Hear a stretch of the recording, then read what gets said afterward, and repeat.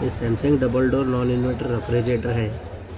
इसका क्या है बोले तो नीचे भी बर्फ़ बन रहा और ऊपर भी बर्फ़ बन रहा। ये देखो। ये देखिए। अब इसका क्या है प्रॉब्लम बोले तो नीचे थर्मास्टेट डैम्पर बोल के रहता ना, वो डैम्पर चेंज करना और उसके दो सेंसर रहते ना।